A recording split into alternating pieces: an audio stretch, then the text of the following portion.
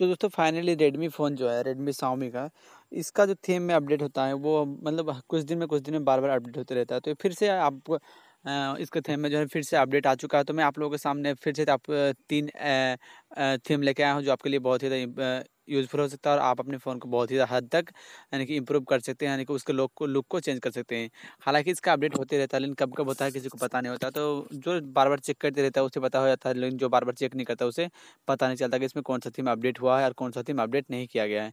तो आज हम आपको इस वीडियो में बताएँगे कि वो तीन सा थीम जो है अपडेट हुआ है, वो कौन कौन सा थीम है और आप उसे किस तरह से अपने फ़ोन में बिल्कुल फिक्स तरीके से मतलब तीनों ऐप को एक ही ऐप में कंबाइन किस तरह से कर सकते तीनों थीम को एक ही थीम में किस तरह से कंबाइन कर सकते हैं? तो वीडियो को शुरू से लेकर एंड तक देखिएगा, ताकि मैं जिस तरह से बताऊँगा आप उस तरह से इसे फॉलो कर पाएँ। तो ज़्यादा बात कलम करते हैं वीडियो को स्टार्ट करते हैं। लेकिन वीडियो को स्टार्ट करने से पहले आप लोग से छोटी सी रिक्वेस्ट है कि अगर आपको मेरा वीडियो ज़रा से पसंद आए तो इस वीडियो को लाइक ज़रूर कीजिएगा। अगर आप मेरे चैनल पर पहली बार आए हैं, आपको मेरे चैनल सब्सक्राइब करने लायक लगे तो इस चैनल को भी सब्सक्राइब कर लीजिएगा और बेलाइकन को प्रेस करना मत भूलिएगा ताकि मैं जब भी कोई नया वीडियो अपलोड करूँगा, उसको नोटिफिकेशन आपको एग्जैक्ट उसी नेम पर मिल जाए। दोस्तों, मैं अपने मोबाइल से रिलेटेड बहुत सारा वीडियो अपलोड करता हूँ जो आपके लिए यूजफुल हो सकता है। तो चलिए देखते हैं। तो इसके लिए चलते हैं, हम सिंपल अपने थीम पे ठीक है? तो ये तीनों थीम का लिंक मैं इस वीडियो के नीचे डिस्क्रिप्शन में दे दूँगा, आप वहाँ से डायरेक्टली इसे अपने थीम का जो फ़ाइल फ़ाइल होता है, वहाँ से आप डाउनलोड कर सकते हैं। तो सिंपल हम चलते हैं यहाँ पर, देखिए थीम पे तो मैं उस तीनों थीम को यहाँ पर इंस्टॉल कर लिया। इंस्टॉल करने के बाद सिंपली आपको यहाँ पर आना है कस्टमाइज थीम में। तो आप देख पा रहे हैं, मैंने यहाँ पर जो नोटिफिकेशन बार है, बिल्कुल भद्दा से दिख रहा है, उसको तो मैं सेटिंग पर अगर जाता हूँ तो सेटिंग में सिंपल कुछ भी खास यहाँ पर चेंजिंग नहीं है सिंपल से मुझ तरह से दिखता है। उसके बाद अगर यहाँ पर आपकी लॉक स्क्रीन की बात करें तो लॉक स्क्रीन यहाँ पर कुछ हद तक इंप्रूव हुआ जो देखने में बहुत ज़्यादा अट्रैक्टिव लगता है ठीक है? लेकिन मुझे और सब जो है कस्टमाइज करना। सिंपल यहाँ पर आप देख देख पाए लॉक का सिस्टम तो लॉक में मैं ये वाला रखना चाहता हूँ, ठीक है? उससे सिंपली आपको यहाँ पर स्टेटस बार पे आना है। स्टेटस बार पे आने के बाद यहाँ पर आपको टेक्निक भी टेन को यूज़ करना है, ठीक है? इसको आपको यहाँ से अप्लाई कर देना है। तो आप यहाँ पर आप देख पाइएगा कि मेरा जो यहाँ पर जो ये था, ये चेंज हो चुका है, ठीक है? उसका सिंपली आपको क्या करना है? बैक आना है बैक आने के बाद सिंपली आपको यहाँ पर आइकन पे क्लिक करना है। आइकन पे क्लिक करने के बाद आप कौन सा आइकन रखना चाहते हैं यहाँ पर सब उससे आप इंस्टॉल कर लीजिए। तो मैं सिंपली ये वाला आइकन रखूँगा यहाँ पर, क्योंकि मुझे ये वाला आइकन देखने में ठीक ठाक लगता है।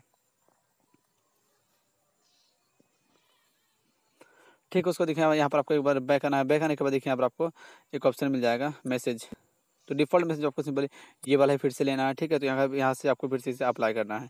उसके बाद बैक आने के बाद आपको यहाँ से आपको आना है डायल पेट पे। डायल पेट पे आने के बाद सिंपली फिर से आपको वहीं वाला लेना है, या फिर आप इसे भी ले सकते हैं मोनोसेराउंड्स ठीक है? तो मैं यहाँ पर सिंपली यह टेक्निक वाला ही यहाँ पर फिर से अप्लाई करूँगा।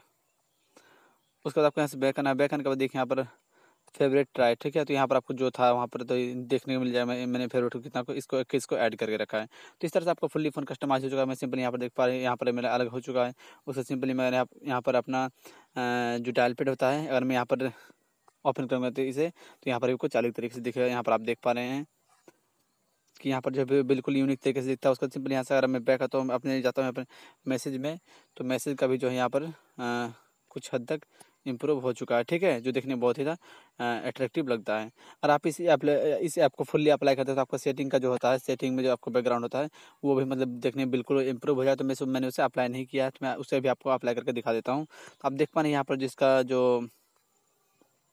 आइकन है आइकन भी बहुत ही ज़्यादा खूबसूरत दिखता है। ठीक है तो मैं सिंपल यहाँ से थीम पे जाता हूँ। थीम पे जाने के बाद सिंपल यहाँ से एक बार बैक आता हूँ। बैक आने के बाद यहाँ से मैं थीम पे जाता हूँ फिर से। उसके बाद यहाँ पर थीम्स में आने के बाद यहाँ पर आपको हम्म, ये वाला यहाँ से अप्लाई कर लेना है।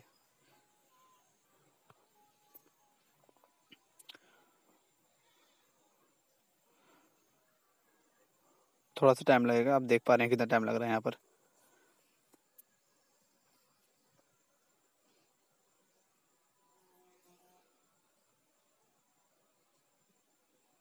तो ये बिल्कुल पूरी तरीके से जो चेंज हो चुका है, सिंपली मैं यहाँ से फिर जाता हूँ अपने सेटिंग पे। तो सेटिंग पे आने के बाद आप देख पा रहे हैं कि यहाँ सेटिंग का जो लुक जो है मतलब बिल्कुल अलग तरीके से दिखता है, जो देखने बहुत ही ज़्यादा अट्रैक्टिव लगता है। तो सिंपली आपको पहले सबसे पहले इस ऐप को इंस्टॉल करना है, उसके बाद आपको यहाँ पर इसे ऐड करना अप्लाई करना मतलब फ़र्स्ट में आपको इसे अप्लाई करना है बाद कस्टमाइज कर लिए आपको वो सब ऐप को यूज़ करना जैसे मैंने बताया। तो मुझे बहुत ही ज़्यादा देखने में अट्रैक्टिव लगा, इसलिए मैंने सोचा क्यों ना इसका एक वीडियो बना दिया जाए। ठीक है? तो आशा करता आपको वीडियो पसंद आई होगी। पसंद आई होगी तो प्लीज़ इस वीडियो को, इस वीडियो को लाइक ज़रूर कीजिएगा और चैनल को भी हो सके तो सब्सक्राइब कर लीजिएगा। वीडियो देखने के लिए दिल से देखिए फिर मिलता है अगले वीडियो में।